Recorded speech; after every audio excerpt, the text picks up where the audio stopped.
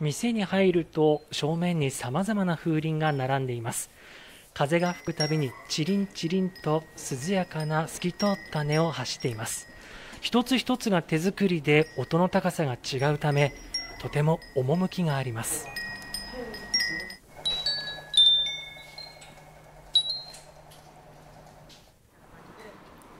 喜多方市で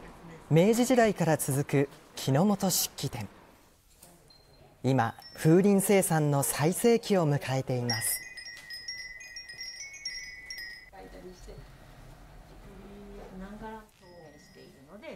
蒔絵の技法を使って30年ほど前から生産していて毎日数百の風鈴を生産しています。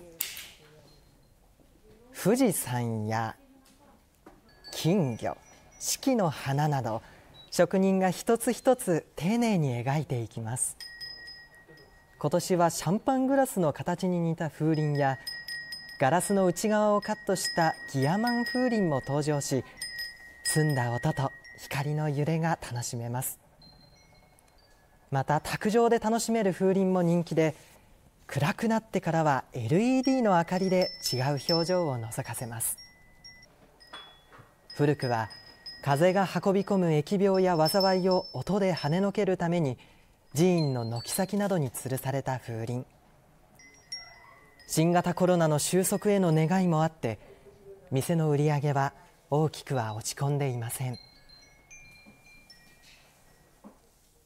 疫病退散の意味を持つこの風鈴ですがもういつもの夏通り、うん、楽しくこう明るい夏が少しでもこう迎えられるように目で耳で楽しんでいただきたいなと思います風鈴生産の最盛期は7月いっぱい続きます。